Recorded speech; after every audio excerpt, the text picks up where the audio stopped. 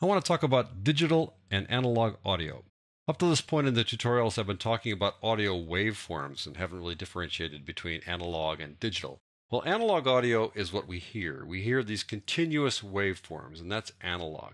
When you record analog audio, it's like you speak into a microphone and the microphone diaphragm vibrates, and those vibrations are converted into voltage changes, and those voltage changes then can be converted into a waveform a waveform that can be put onto a vinyl record or let's say a tape. And the problem with waveforms is that they're really hard to replicate over time. The more you replicate them, the more they degrade because it's really difficult to make an exact copy of a complex waveform. Well, digital audio is different. Digital audio is not waveforms. Digital audio is just a bunch of discrete numbers. And you're going, wait a minute, I've been seeing waveforms here inside Audition. How can you say they're not waveforms? Well, that's because I haven't really zoomed in tight on the waveforms yet to show you that they're not waveforms, they're just a bunch of numbers. Let me show you what I mean. If you want to follow along with this demonstration, just open up 0204 Digital Audio by going File, Open, going to the Working Files Multitrack Session subfolder, and double-clicking on 0204 Digital Audio. Let's go take a look at our favorite file, Tone 440, and we'll zoom in on this one so you can see the waveform. There, we're just beginning to see it. There we go. And you've seen this before and you're going, but this is a waveform. What do you mean discrete numbers? Well, zoom in a little bit tighter and a little bit more. And what's that? It's not a continuous waveform. It's a bunch of little squares connected by a line.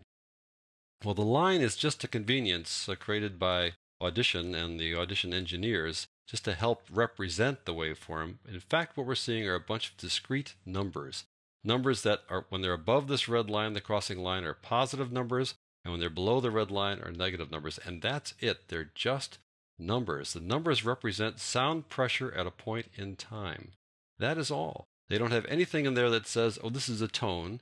And if I go look at a voice, for example, I'll zoom out on this. Here's our vocalist, Laura Lee Christensen. Just too hard to find. If I zoom in on her waveform and get closer and closer, you'll start seeing that even though these are complex waveforms, they too are just a bunch of dots, and none of those little dots, or samples as they're called, have any information that say, this is a female vocalist. They are just numbers that represent sound pressure, be it positive or negative, at a point in time. Let me explain that a little bit further. Digital audio waves are made up of things called samples. And those samples are positive or negative numbers at a point in time. And those numbers correspond to sound pressure. Samples have two characteristics. They have what's called bit depth per sample and a sample rate. The bit depth sets what's called the signal to noise ratio. That basically says how noisy is the quietest passage going to be. And the sample rate says how high of a pitch can you have inside this audio file. Let's move on a bit here. So I'll talk about bit depth. A sample bit depth determines the numeric range for the samples. So if you go back to your uh, computer science days, if you ever were at those computer science days, an 8 bit number can be no larger than 256. It's 0 to 256. But in the world of audio, it's 256 numbers ranging from negative 128 to positive 28. So an 8 bit depth sample can have what's called a signal to noise ratio of only 48 decibels. That means that the quietest passages will have noise in them. Obvious, kind of like staticky, fuzzy noise going on in the background, which is pretty low quality. It's called telephony quality. 16 bit can have numbers that range from up to positive 32,000. That's because 16 bit, when you translate that, that comes out to a little bit more than 65,000, but you know, negative and positive, that's how that works. And the signal to noise ratio for that is 96 decibels. That's pretty good that means that the quietest passages will be pretty quiet. And this is CD audio, and some people talk about how CD audio is not perfect audio, and it's not perfect audio, but it's kind of a compromise when they came up with the CD audio. They wanted to make sure that the file sizes weren't too big so they could fit, you know, a little bit more than an hour's worth of audio on a CD. So they had to come up with some kind of a compromise and came up with 16 bit as being good enough, pretty close to the limit of human hearing when it comes to signal to noise ratio. 24 bit, which is a DVD audio, is above the signal to noise ratio threshold for humans. We can hear up to about 120. We can hear noise at the bottom of that level at about 120. Anything above that is just perfect. So audio DVDs sound great, and 32 bit sounds great as well.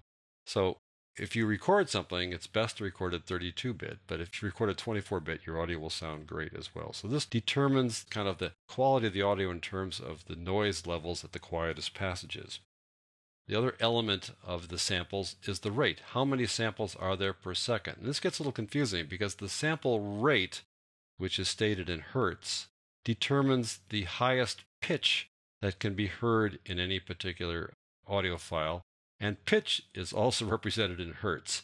So boy oh boy, it gets confusing. But a sample rate on a CD is 44,100 hertz, and the pitch that that will allow to happen cleanly is 22,000, which is right at the top of human hearing. So again, when they set the file sizes for a CD audio, they thought, okay, well, 44,100 hertz is fine because we can't hear above 22,000 hertz anyway, so that's the limit of human hearing. So that's how they settled on the whole CD quality thing 16 bits and 44,000 hertz. If you increase, say, 48,000 hertz, then you can have a frequency of pitch that goes up to 24,000, which is above human hearing, and the 96,000 hertz for Blu ray allows you to have a pitch that goes up to 48,000 hertz, which is way above human hearing, which is kind of toward the top end of a dog's hearing. And then if you sample down to something like 22,000 or 11,000, the audio quality definitely will drop. You won't be able to hear any high pitches there. The, you won't hear the harmonics that we've talked about before. 32,000 is frequently an audio level that's recorded on some camcorders, and so it's better than FM, but it's not as good as 48,000, which is a better recording level when you're using typical camcorders. So that's how digital audio works in terms of how many samples per second, and then how large can those samples be and the range of the sample size is set by the bit depth. So now that we're back in Audition, let me kind of take a closer look at that by going back to our 440 tone. Here we see these little numbers, and now this particular file is a 48,000 hertz file. That means there are 48,000 samples per second. So if I zoom out just a little bit here, there are 440 waves per second. And so if there are 440 cycles per second and there are 48,000 samples per second, then divide 440 into 48,000, you get a little bit more than 100. So that means there are about 100 samples in one wave. If I zoom in a bit, you might be able to start seeing that, but there are about 100 of those little dots per wave, and those 100 dots pretty clearly define the wave. They represent the wave really well. Our ears won't be able to tell that to just a bunch of discrete samples. But what happens if you go to a high frequency, like 20,000? This is a high frequency pitch. You can't even hear it, I'm sure. Just forget it. But it's really there, honest. This is 20,000 hertz. This is the really toward the very top of human hearing. So that means there are 20,000 of these waves per second, and there are 48,000 samples per second. That means there are about two samples or so per wave. So, how could it be that two samples can really characterize a wave? What Audition software and other audio software does is to look at those samples and interpolate it. They look at what samples came before and what samples came after, and then can figure out what the waveform should look like. But there is some debate about whether the top end, the high frequencies of, let's say, CD audio, can be any good because there's only two samples per cycle, and you can't really have true representation of high frequency audio at only two samples per cycle. But the interpolation works so well that it's one of those debates that can go on forever, but no one's ever going to hear it really because it's just so high the human hearing can't really differentiate it. But that's what happens at the top end, the high frequency, is that you only get a couple of samples per cycle. And so that's one reason why you want to record at 48,000 or more rather than something less than that. Now, as to the bit depth, what does the bit depth mean? Well, you can't really see the bit depth here. You don't really know what that number is. But the higher the bit depth, the better the quality of sound will be and the less noise there'll be. Well, the bit depth for this guy is 32 bits. That means that there will be no noise in this thing, uh, even at very low volumes. So it's always a good idea to aim high when you record things. So that's a basic overview of digital audio. It's just a series of numbers that represent sound pressure at points in time.